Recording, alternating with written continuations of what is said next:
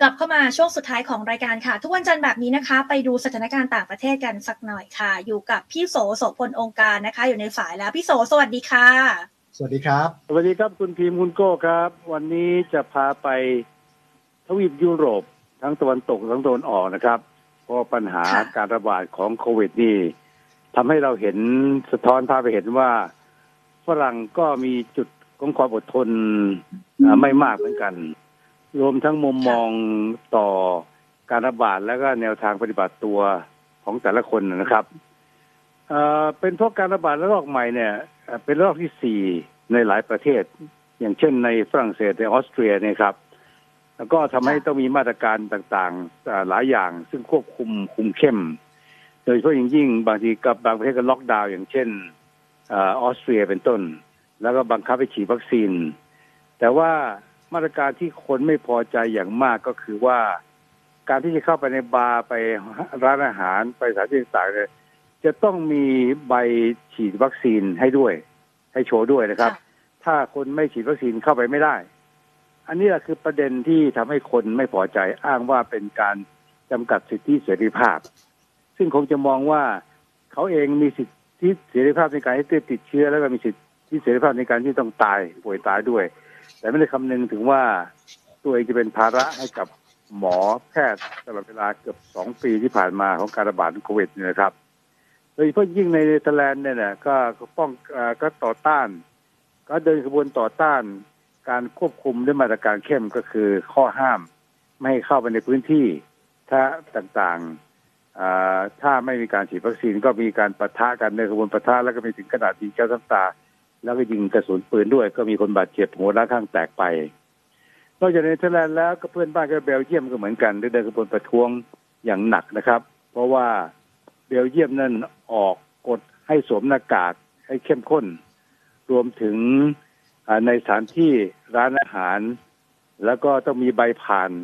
นะ ไม่มีใบใบรับรองผ่านการฉีดวัคซีนก็ไม่ให้เข้า ก็นั่นทำให้ค่ะคนเบลเยียมเนี่ยนะก็ ยั่วขึ้นมา และถูกบังคับให้ต้อง work from home ทำงานที่บ้านสัปดาห์ละสี่วัน จนถึงกลางเดือนธันวาคม ซึ่งสภาวะจากนี้ไปเป็นเทศกาลของการช้อปปิ้ง เพื่อจะเข้าสู่เทศกาลคริสต์มาสนะครับแล้วก็อ่าเบลเยียมเองก็ถือว่าจะมีมาตรการบังคับให้เอ่อพนักงานที่ทำงานบุคลากรทางการแพทย์เนี่ย ต้องฉีดวัคซีนถือเป็นภาคบังคับเลย อันนี้เราก็แปลก แล้วเวลาคนเดินขบวนกันในหลายประเทศนะครับ มีไม่กี่คนในแต่ละกลุ่มเนี่ยที่สวมหน้ากากอนามัยก็ค่ะสวมหน้ากากเอ่อแล้วที่เหลือก็เปิดหน้าโล่ง อากาศก็หนาวเย็นเลยนะครับเหมาะสำหรับการติดเชื้อค่ะกระจายของเชื้อด้วยเราก็ไม่แน่ใจว่าที่เดินขบวนมาเปิดหน้าโล่งนั่นน่ะเป็นพวกที่ฉีดวัคซีนครบสองเข็มแล้วหรือยังหรือพวกที่ยังไม่ฉีดวัคซีนนะ ถ้าหากว่าเขาฉีดวัคซีนแล้วคงไม่มีปัญหาไม่ต้องเรียกคนต่อต้านใช่ไหมล่ะครับแต่คนเพราะว่าหนึ่งไม่ฉีดวัคซีนด้วย แล้วก็ไม่พอใจต่อการออกกฎต่างๆ ไม่ว่าจะเป็นการบังคับให้ฉีดวัคซีน หรือว่าให้ทำงานที่บ้าน หรือว่าห้ามเข้าไปในร้านอาหารอ่าบาร์ผับต่างๆ เพราะว่าถูกมองว่าเป็นความไม่ปลอดภัย ขณะเดียวกันนะนอกจากเบลเยียมเนเธอร์แลนด์แล้วก็มีฝรั่งเศสมีเยอรมนีแล้วก็มีทั้งโครเอเชียนะครับ ออสเตรียด้วย ซึ่งแต่ละประเทศก็พยายามจะควบคุมไม่ให้การระบาด เพราะว่าองค์การอนามัยโลกเนี่ยนะออกคำเตือนมาแล้วว่า เป็นสิ่งน่ากังวลมากว่าการระบาดรอบใหม่ครั้งนี้เนี่ย ถ้าหากว่าจะไม่จัดการให้สำเร็จนะครับ ดรฮันส์ครูชนะครับ บอกสำนักข่าว BBC บอกว่าถ้าไม่มีมาตรการเข้มข้น เต็มที่ให้ทั่วทั้งทวีปยุโรปแล้วเนี่ย คนอย่างน้อยอครึ่งล้านคนหรือห้าแสนคนจะต้องตาย จากนี้ไปจนถึงฤดูใบไม้ผลิก็จากนี้จะถึงนู่นนะครับ มีนาถึงเดือนมีนาจากนี้ไปจะมีคนตายอย่างมากถึงหนึ่งล้านถึงถึงครึ่งถึงครึ่งล้านคนก็ประมาณห้าแสนฉะนั้นก็อาจจำเป็นอย่างยิ่งที่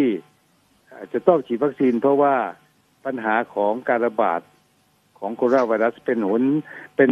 รับผิดชอบสำหรับการเสียชีวิต ในภาคพื้นยุโรปทั้งหมดเลยนะครับที่เจ้าหน้าที่ของ WHO ประกาศ แล้วก็รัฐบาลหลาย ๆ แห่งในทวีปยุโรปก็อ่าเพิ่มมาตรการเข้มข้น เพื่อจะควบคุมไม่ให้การระบาดในกระจายไปโดยเฉพาะยิ่งในฤดูหนาว ซึ่งหลายประเทศก็อุณหภูมิลดต่ำกว่าศูนย์องศานะครับ นอกจากเดินขบวนแล้วก็มีการประทะกันด้วยสิเพราะในกรุงเฮกของเนเธอร์แลนด์นั่นนะตำรวจจราจรต้องมาปราบปราม มีทั้งใช้ม้าด้วย ใช้สุนัขด้วย แล้วก็ใช้กระบองไล่ตี ประชาชนที่ออกมาเดินขบวน แล้วก็ประกาศภาวะฉุกเฉินในบางเมือง ในเฉพาะในกรุงเฮกแล้วอย่างน้อยสุดก็หลายคนก็บาดเจ็บจากการประทะกันนะครับนะครับส่วนในพี่สครับที่มีที่มีรายงานว่าถูกยิงนี่พี่สครับ ที่มีรายงานว่าถูกยิงนี่ยังไม่ยืนยันว่าเป็นฝีมือตำรวจใช่ไหมครับ ก็คือฝีมือตำรวจครับนะในเป็นการยิงเตือนนะครับ ยิงเตือนแล้วก็ยิงโดยตรงด้วย โดยเฉพาะยิงยิงใน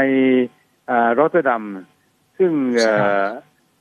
ทางนายกเทศมนตรีของรัฐดำประกาศบอกว่านี่เป็นการมั่วสุมเพื่อความรุนแรงนะ แล้วก็ตำรวจก็ยิงกระสุนปืนเตือนไว้ แล้วก็สถานการณ์มองว่ามันเป็นเสี่ยความเสี่ยงต่อชีวิต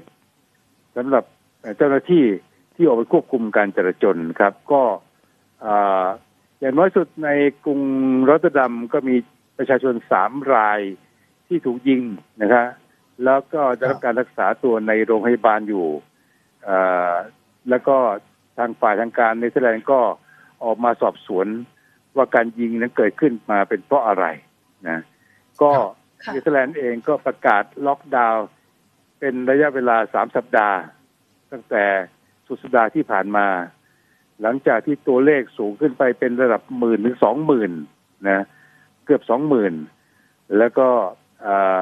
ประชาชนถูกห้ามเข้าไปในเวทีการแข่งขันไม่ว่าจะเป็นแข่งขันฟุตบอล หรืออการแข่งขันอย่างอื่น ก็ในออสเตรียเองก็ประประประท้วงกันเป็นหมื่นคนเหมือนกันนะครับ เป็นหลายหลายหลายหมื่นคนในกรุงเวียนนาเมืองหลวง พอรัฐบาลประกาศล็อกดาวน์ทั่วประเทศ แล้วก็จะให้มีการฉีดวัคซีนเป็นภาคบังคับ ในเดือนกุมภาพันธ์ปีหน้า นี่ก็เป็นประเทศยุโรปในประเทศแรกที่บังคับให้มีการฉีดวัคซีนโดยใช้กฎหมายนะบังคับเอา ก็ประชาชนก็มาต่อต้านบอกบอกว่านี่เป็นสิทธิเสรีภาพนะประท้วงและการต่อต้านแล้วก็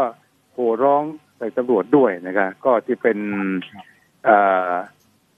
ระยะเวลาที่จะล็อกดาวน์ 20 วัน ตั้งแต่วันจันทร์เป็นต้นไปหลังจากที่เริ่มในออสเตรียครับ ก็ถือว่าเป็นเป็นสถานการณ์ที่น่ากังวลในยุโรปฝรั่งเศสก็เช่นเดียวกันก็ส่งตำรวจเข้าไปปราบปรามความไม่สงบในในประเทศที่ในอารักขากูดาลูปนะครับซึ่งเป็นเป็นเมืองที่ในอารักขาของฝรั่งเศสก็มีการบุกจิงเข้าไปบุกเข้าไปชิงแย่งชิงทรัพย์สิน ในร้านต่างๆนะก็และการดูแล้วเนี่ยไม่ไม่ไม่น่าพิสมัยสำหรับการยุโรปแล้วแต่สำหรับยุโรปแล้วประเทศเหล่านี้ล่ะ ที่ลุงตู่ต้องการให้มาเยือนมาเที่ยวประเทศไทยว่าจะเป็นทั้งอังกฤษซึ่งติดเชื้อวันนึงก็ประมาณสี่หมื่นเยอรมันก็ติดเชื้อกับสี่หมื่นแต่ละวันแต่ละวันก็ตัวเลขสูงขึ้น เป็นการระบาดระลอกใหม่ครับ ก็ถือว่าเป็นสิ่งที่ต้องเฝ้ามองต่อไป เป็นพื้นที่สีแดงทั้งหมดทั้งยุโรปตะวันตกตะวันออกโครเอเชียก็เช่นเดียวกันโปแลนด์ยูเครนพวกนี้ เป็นระดับเป็นหมื่นๆเท่านั้นนะครับฉะนั้นต้องรอดูว่าบ้านเราจะเป็นอย่างไรอ่าผมจะพาไปที่สุดานสั้นๆนะครับ การรัฐประหารที่เกิดขึ้นเมื่อวันที่ 25 ตุลาคมที่ผ่านมานะครับ หลังจากนั้นก็ประชาชนก็ออกมาเดินขบวนต่อต้าน การยึดอำนาจของหัวหน้าคณะทหาร ซึ่งนำโดยพลเอกอับเดลฟาตาอัลเบอร์ฮัน ซึ่ง ตัวนายกรัฐมนตรีอับดัลลาฮัมด็อกไปขังไว้ที่บ้าน รวมทั้งคอรมอคนอื่นด้วย หลังจากประท้วงต่อเนื่องแล้วก็มีการปราบปรามคนเสียชีวิตไป 40 กว่ารายนะครับ สุดท้ายนั่นรัฐบาลทหารกลุ่มทหารที่ยึดได้ก็ยอม ยอมให้นายกอับดัลลาฮัมด็อกกลับมาดำรงตำแหน่งอีกภายใต้ข้อตกลงเงื่อนไขใหม่จะมีการแบ่งอำนาจกัน ซึ่งประชาชนมองว่านายก ทำด็อกนี่แหละมาเพราะโดนปืนจี้หัว เพราะทหารเนี่ยไม่สามารถรับกับสถานการณ์การเดินขบวนประท้วงต่อเนื่องด้วย แล้วก็ทางยูเอ็นและองค์กรต่างๆ ก็เป็นงับความช่วยเหลือ ไม่สูดานได้เข้าถึงเงินต่างๆสหภาพแอฟริกันก็แบนเอ่อซูดานไม่ให้เขาเป็นสมาชิกคือแขวนสมาชิกไว้ก่อนนะครับ ไม่ไม่เกิดเอ่อเกิดปัญหาขึ้นมา ก็เท่ากับว่าซูดานนี่โดนบอยคอตจากประเทศแอฟริกาด้วยกันเอง ทำให้อยู่ไปก็ลำบากเงินก็ไม่มีด้วย ความช่วยเหลือต่างๆ ก็หยุดชะงักด้วย ประชาชนก็เดินขบวนทุกวันสุดท้ายก็ต้องยอมคายอำนาจออกมา เพราะว่าการประท้วงของประชาชนต่อการรัฐประหารครับนะครับก็ถือว่าเขาโชคดีที่บางประเทศนี่คายมาแล้วอยู่ต่อนะนะประเทศไหนก็ไม่แน่ใจนะครับการที่ประชาชนจอมปลอมนะครับ ค่ะค่ะครับเอาละค่ะ วันนี้ขอบพระคุณพี่โสมากนะคะ ครับ สวัสดีครับ ค่ะ สวัสดีค่ะคุณสพลองการทุกวันจันทร์แบบนี้นะคะ ตัวเลขมาแล้วคุณโก้วันนี้ติดเชื้อ 6,428 รายนะคะ รักษาหายเพิ่ม 7,882 ราย แล้วก็เสียชีวิต 49 รายค่ะ